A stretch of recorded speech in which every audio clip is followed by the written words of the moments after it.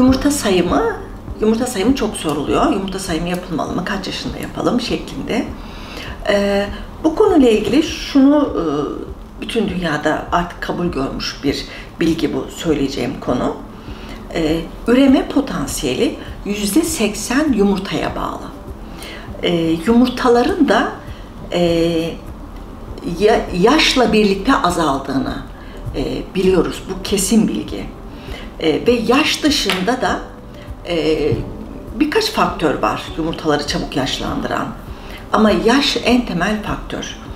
Ve de kadının e, yani kendine genel sağlık anlamında çok iyi bakması e, bir parça iyilik sağlıyor ama e, bu nihai sonu değiştirmiyor.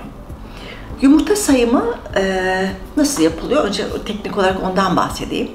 Yumurtalıkların ultrasonografide e, antral folikül adını verdiğimiz boyutları 3 ila 8 milimetre arasında olan e, siyah renkli görülen sıvı keseciklerin sayımına bakıyoruz. Çünkü bunlar bu her bir sıvı keseciği siyah renkli benekler e, biliyoruz ki ya o siklusta veya bir sonraki siklusta yumurtaya e, dönüşecekler, olgunlaşmış yumurtaya dönecekler. Bunların sayımını yapıyoruz ultrasonografide ve bunu adetliyken yapıyoruz. Ne görüyoruz biz burada? E, her bir yumurtalıkta işte boyutları 2-8 milimetre arasında olan e, antral folikül adını verdiğimiz yapılardan bu tarafta 6-10, bu tarafta 6-10 varsa rezervi iyi diyoruz. Yumurta sayımı rezervi e, gösteriyor. Ama rezerv yani yumurta sayısı esasen doğurganlığı birebir göstermiyor. Yani bunların iyi olması doğuracağını, doğurabileceğini, çocuk yapabileceğini garanti etmediği gibi bunların kötü olması da hamile kalamayacağını, çocuk yapamayacağını da göstermiyor. Evet büyük, büyük oranda gösteriyor ama birebir örtüşmüyor. Ve de diyelim ki yumurtalar zayıfladı. Zaten yaşla birlikte sayısı azalmasa bile kalitesi bozuluyor. Her bir yumurtanın çocuk yapabilme kapasitesi azalıyor. Onu biliyoruz. Biz o testte ultrasonda sadece sayısına bakıyoruz. Bir de biliyorsunuz ki kan testi var. Antimülleren hormon dediğimiz test. O da rezervi gösteriyor ama o da öyle. E, kabaca rezervi gösteriyor ama her bir yumurtanın e, çocuk yapabilme kapasitesi hakkında yine bize yaş bilgi veriyor. Yani yaş ilerleyince bir şekilde e, bir şeyler kötüye gidiyor yaştan bağımsız veya yaşla birlikte kadının yumurta sayımını sık sık yapalım mı veya belli aralarla yapalım mı? Yapsak ne fayda olacak? Şimdi bu önemli bir konu. Çünkü değiştirebileceğimiz bir şey yok. Bir işlemi yapıyorsak eğer, bir testi yapıyorsak onu düzeltebiliyor olmamız, değiştirebiliyor olmamız lazım. Yumurtalarımız zayıflamaya başladığında, e, folikül sayısı azaldığında, rezerv azaldığında bunu geri döndürmenin e, mümkünatı yok. Ama rezervin azalması dediğim gibi hamile kalamayacağını göstermiyor. Ama kalma şansının emsallerine göre azaldığını gösteriyor.